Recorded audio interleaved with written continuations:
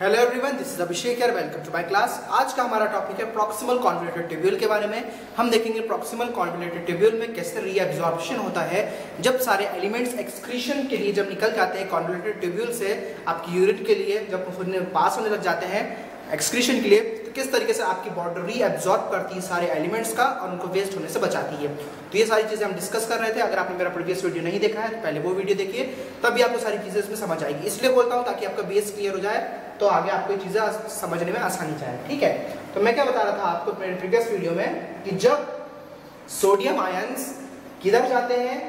इस चैनल के थ्रू ये जो चैनल है, इस चैनल के थ्रू जब सेल में जाते हैं, कैसे जाते हैं? क्योंकि इनका जो लेवल है कॉन्वलेटेड ट्यूबिल में ज़्यादा रहता है सोडियम आयंस का।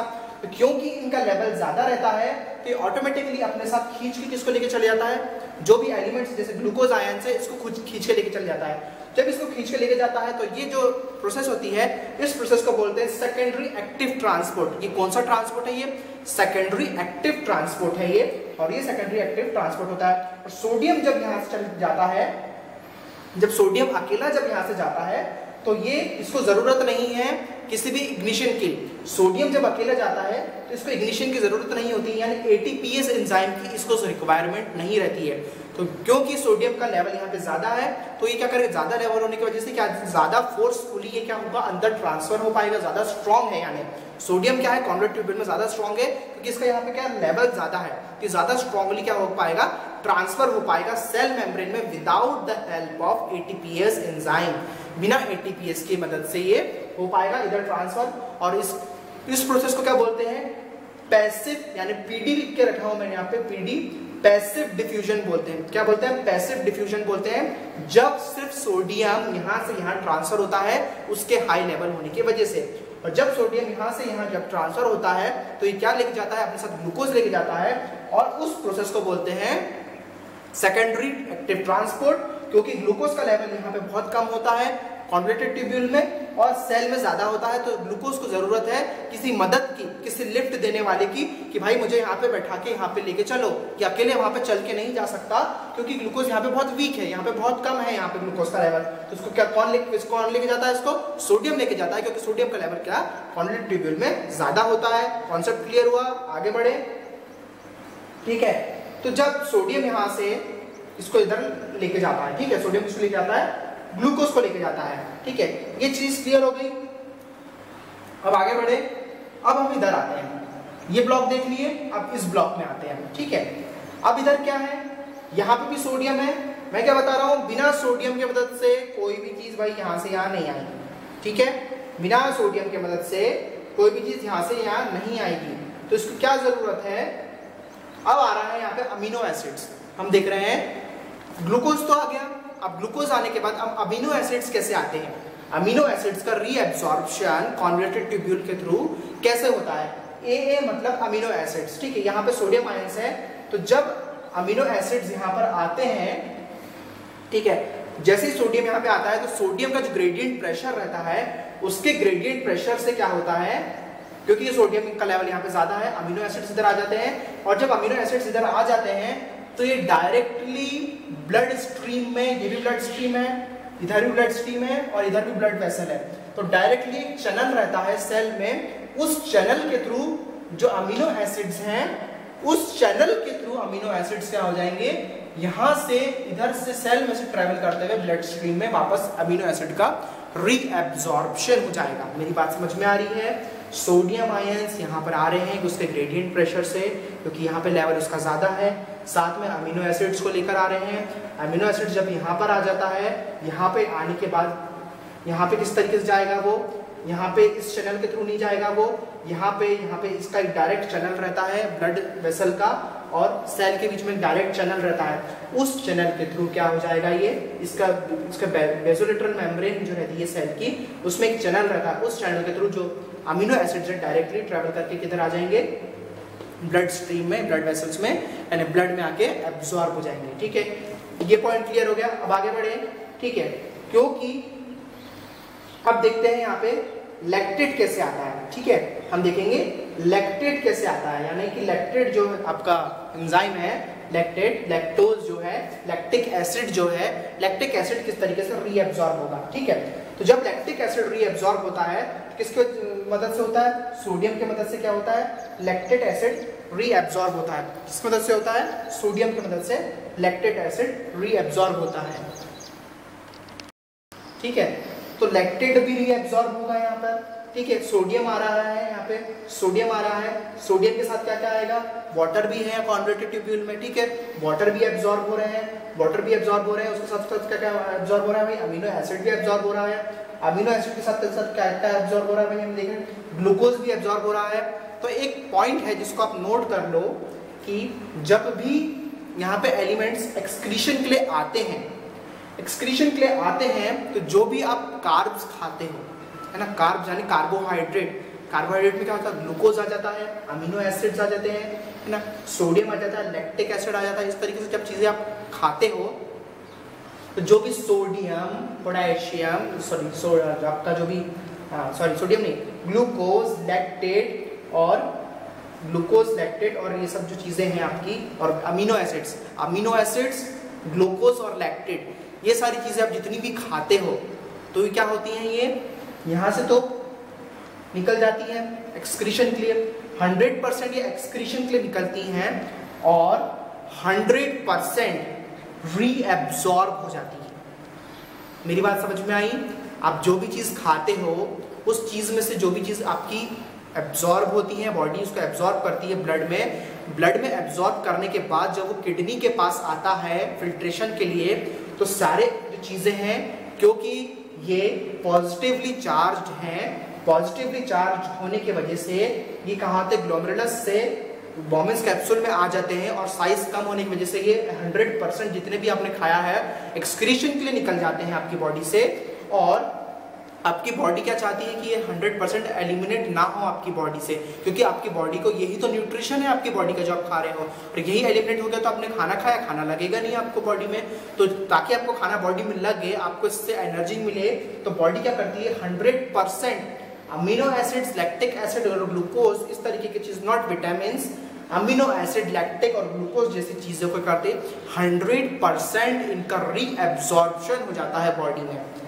पॉइंट ध्यान रखना, ये चीज़ें जब एलिमिनेट होने के लिए निकलती हैं glucose amino acid lactic acid ये सारी चीज़ें और वाटर ये क्या हो रहा है? 100 परसेंट रीएब्जॉर्ब हो जा रहा है सेल्स में। और रीएब्जॉर्ब होने के बाद, ये जब रीएब्जॉर्ब हो जाता है तो बाहर कैसे निकलेगा? ये इन चैनल्स के थ्रू बाहर नहीं निकलेगा। जैसे कि यहाँ पे एक पाथ है, एक रास्ता है, यहाँ पे एक गेटवे है, एक है ना चैनल है। उस तरीके से यहाँ पर भी एक चैनल है, जिसके थ्रू क्या होता है? ये जो भी एंजाइम्स और जो भी अमीनो एसिड्स ग्लूकोज जो भी यहाँ पे 100 परसेंट रीएब्जॉर्ब हुआ है 100 परसेंट रीअब्जॉर्ब होने के बाद इस सेल के थ्रू इस चैनल के थ्रू वापस ब्लड स्ट्रीम में ब्लड वेसल में वापस क्या होगा? रीअब्जॉर्ब हो जाएगा। और कितना? और सोडियम कितना रीअब्जॉर्ब होता है? मैं सोडियम की बात नहीं कर रहा हूँ। ध्यान रखना मेरा पॉइंट मैं सोडियम की बात नहीं कर रहा हूँ कि सोडियम 100 परसेंट रीअब्जॉर्ब हो रहा है. मैं अमीनो एसिड्स की लैक्टेट की और ग्लूकोज की बात कर रहा हूँ कि ये 100 परसेंट रीअब्जॉर्ब होते हैं. ठीक है? और ये 100 परसेंट रीअब्जॉर्ब होकर कहाँ मिल जाते हैं? ब्लड स्ट्रीम में मिल जाते हैं सेल्स में आ जाते हैं, इसलिए ग्लूकोज का जो लेवल रहता है सेल में ज़्यादा रहता है, क्योंकि 100 परसेंट रीएब्जॉर्ब हो रहे हैं। अब भाई इनके रीएब्जॉर्प्शन के बाद जो H2O भी आएगा इनके साथ वाटर भी आ रहा है साथ में, है ना? वाटर भी रीएब्जॉर्ब हो रहा है ना? जितना पानी पिया है आपने, उतना ही आप एलिमिनेट नहीं करते हो। मैंने कितना बताया आपको कि 125 ml पर मिनट आपके बॉडी से क्या होता है? एलिमिनेशन के लिए निकलता है है ना? वाटर लॉस होता है पूरा पूरा नहीं होता है, ठीक है? 1200 1200 क्या एम निकलता है 625 फ्री एब्जॉर्प्शन के लिए जाता है 625 में से जो 20 परसेंट ही वाटर क्या होता है? एक्सक्रीशन के लिए नीचे जाता है, ठीक है? अब वाटर कितना एब्जॉर्ब हो जाएगा? 65 परसेंट वाटर और 65 परसेंट ग्लूकोज ठीक है? 65 percent water and 65 percent glucose क्या हो रहा है? ब्लड स्ट्रीम में रीएब्जॉर्ब हो जा रहा है फिर से। मेरी बात समझ में आ रही है कि नहीं आपको? कि सोडियम 100 परसेंट एब्जॉर्ब नहीं हो रहा है। सोडियम सोडियम वाटर और ग्लूकोज कितना परसेंट एब्जॉर्ब हो रहे हैं? ब्लड स्ट्रीम में। ब्लड स्ट्रीम में ये हो रहे हैं 65 परसेंट और कुछ परसेंट कहाँ एब्जॉर्ब हो जा रहा है? ग्लूकोज सेल में एब्जॉर्ब हो जा रहा है। ठीक है? बात क्लियर हो गई, आगे बढ़े। तो ये क्या हो रहा है इनका? 100% परसेंट रीएब्जॉर्प्शन हो रहा है। 100 परसेंट तो कॉन्वोलेटेड टिब्यूल से रीएब्जॉर्प्शन हो रहा है और कुछ रह जा रहा है सेल के अंदर और कुछ सेल से निकल के कहा जा रहा है? डायरेक्ट चैनल से कहा जा एब्जॉर्ब हो रहा है। ब्लड स्ट्रीम में कोई डायरेक्टली एब्जॉर्ब हो रहा है, ठीक है? अब ये चीज़ क्लियर हो गई। अब हमने ये पॉइंट देख लिया, हमने अमीनो एसिड वाला पॉइंट देख लिया, हमने ग्लूकोज और कार्ब्स वाला पॉइंट देख लिया। अब हम देखेंगे इस पॉइंट पे इस सेक्शन में आएँगे, ठीक है? तो इधर मैं लिख देता हूँ, ठीक है, ये था पहला पॉइंट हमने पहला इसको डिस्कस किया, फिर सेकंड हमने किसको डिस्कस किया? सेकंड इसको डिस्कस किया थर्ड किसको डिस्कस किया हमने? थर्ड हमने इसको डिस्कस किया, अब हम फोर्थ पे आएँगे, यानी इस पे, है ना? अब हम इसको डिस्कस करेंगे, इस पॉइंट पर ठीक है? इसलिए लिख दिया ताकि आप जब देखो दोबारा या स्क्रीनशॉट ले लो इसको, और जब आप इसको देखोगे तो ये आपको दोबारा आपको सादा जब फिर से रिकॉल हो जाएगा, फिर से आपको ये याद आ जाएगा, ठीक है? ये सारी चीज़ें कि हमने कौन से पॉइंट को डिस्कस किया था, ठीक है? अब हम इसको डिस्कस करेंगे, ठीक है? ये वाला पॉइंट अब क्या होता है आपकी बॉडी में? कॉन्वेटेड ट्यूब्यूल्स में क्या होता है? इधर आ जाओ, ठीक है? अब ब्लड में क्या प्रेजेंट रहता है? कौन से ब्लड में?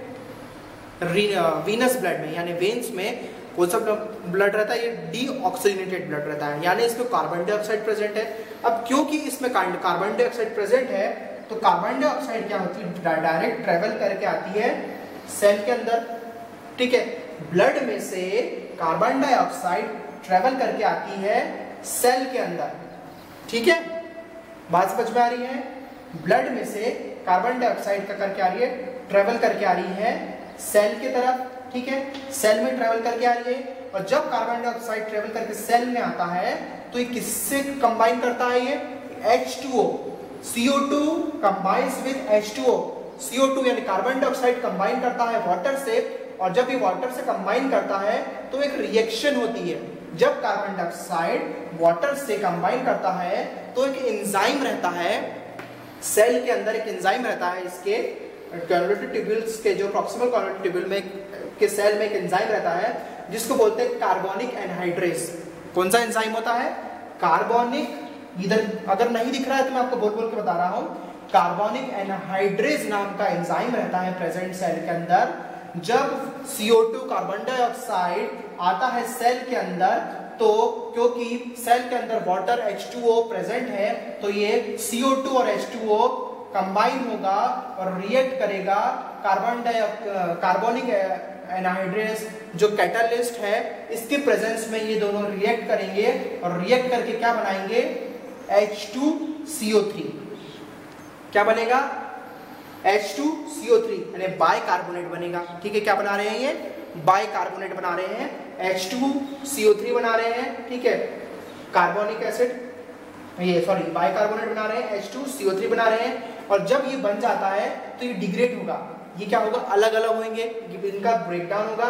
H2CO3 बनने के बाद इसका ब्रेकडाउन होगा, और इसका जब ब्रेकडाउन होगा H2CO3 का तो H हाइड्रोजन आयंस अलग निकल जाएँगे, ठीक है? हाइड्रोजन आयंस अलग निकल जाएँगे, और हाइड्रोजन आयंस अलग निकले, और H2CO3 अलग निकला, ठीक है? यानी कि इसमें से HCO3 अलग निकल जाएगा HCO3 इधर आ गया, और हाइड्रोजन आयंस इधर निकल जाएँगे, ठीक है? तो ये हो गया कार्बोनिक एसिड हो गया अभी ठीक है, ये क्या था? बाइकार्बोनेट बना। बाइकार्बोनेट के बाद ये दोनों इसमें से एक हाइड्रोजन आयन अलग हो गया। H2 यानी दो हाइड्रोजन के आयन। ठीक है? इसके साथ क्या मिला है? CO3 क्योंकि O3 कैसे आया? CO2 यानी एक कार्बन एक एक कार्बन, दो ऑक्सीजन एक कार्बन, दो ऑक्सीजन जब इधर आए तो H2O के साथ मिले। H2O के साथ मिले तो ये जो जो H2O में क्या प्रेजेंट है?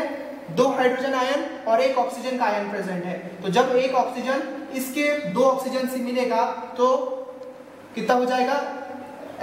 CO3 हो जाएँगे, यानी तीन मिल जाएँगे मॉलिक्यूल्स ऑक्सीजन के, और एक, और इसका जो H2 और मिल जाएगा H2CO3 बन जाएगा। अब H2CO3 का डिग्रेडेशन अलग अलग होंगे H आयंस अलग हो गए, और HCO3 अलग हो गया, यानी कार्बोनिक एसिड बन गया।